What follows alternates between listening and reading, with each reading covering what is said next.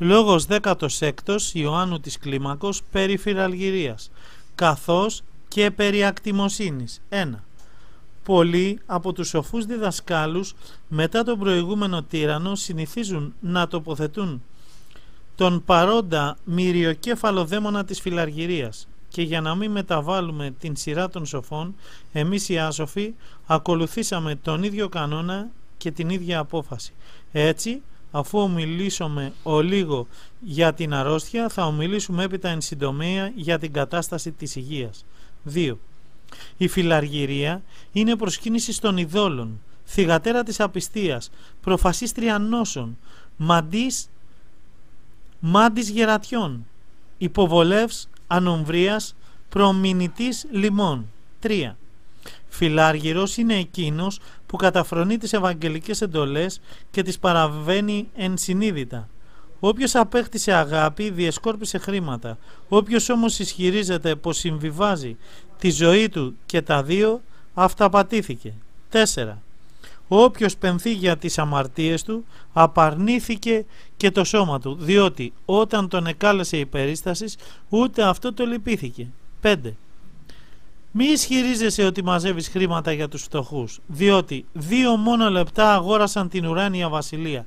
Λουκά ΚΑ 2. 6.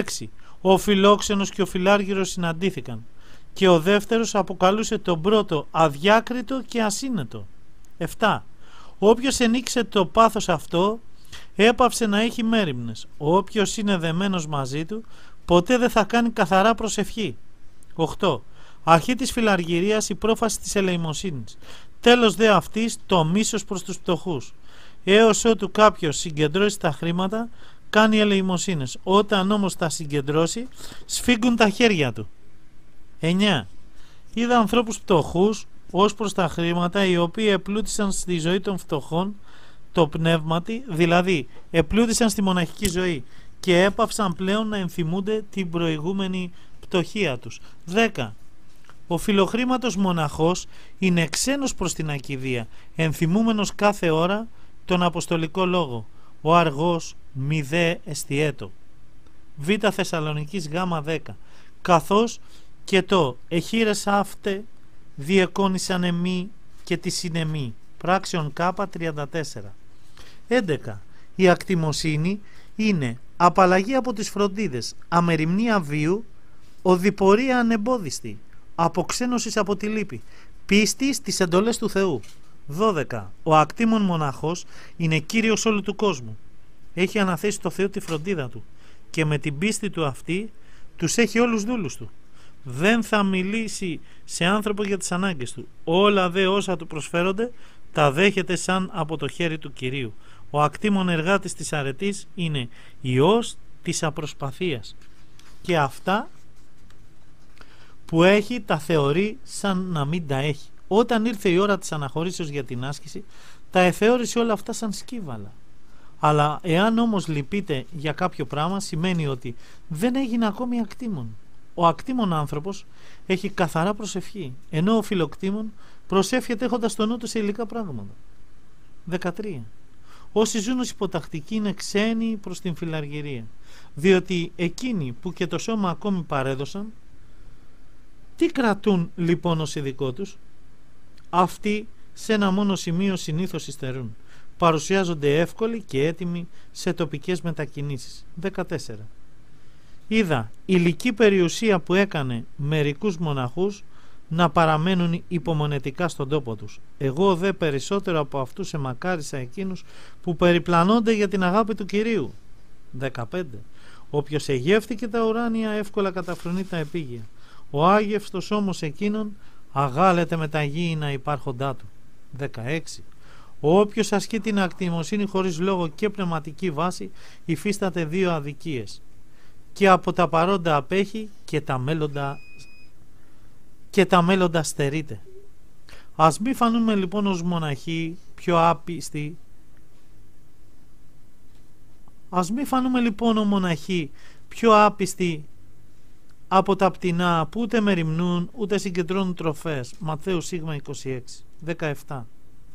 Μέγας είναι εκείνος που απαρνείται κατά τρόπον θεάρωστον τα χρήματα. Άγιος όμως είναι εκείνος που απαρνείται το δικό του θέλημα. Ο μεν πρώτος θα λάβει εκατονταπλάσια είτε με χρήματα είτε με χαρίσματα. Ο δε δεύτερος θα κληρομοήσει ζωή αιώνιων. 18.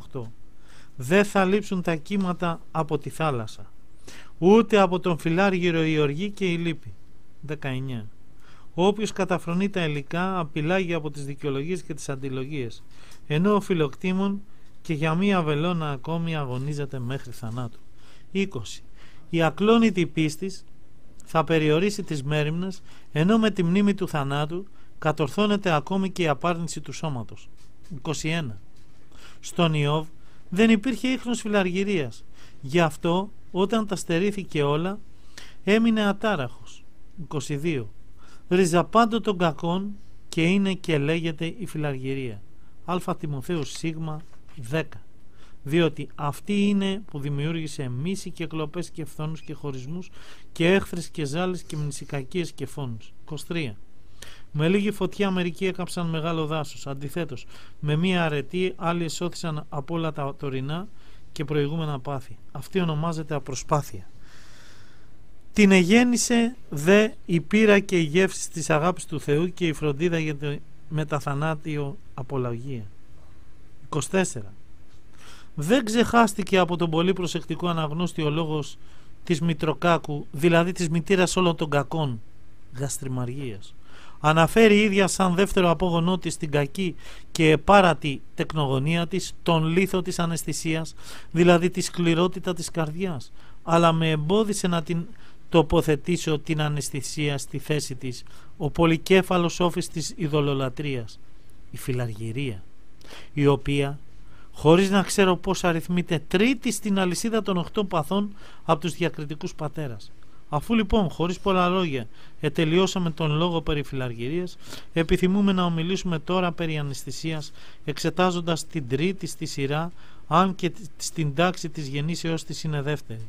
Έπειτα από αυτήν θα υπούμε λίγα λόγια περί ύπνου και αγρυπνίας, καθώς επίσης και περί νηπιώδους και ανάνδρου δηλίας, διότι αυτά τα νοσήματα είναι των αρχαρίων. Ένα βραβείο ακόμη. Όποιος το κατέκτησε προχωρεί σαν άϊλος προς τον ουρανό. Δέκατη έκτη πάλι. Όποιος ενίκησε σε αυτή ή έχει αποκτήσει αγάπη ή έπαυσε να έχει μέριμνες.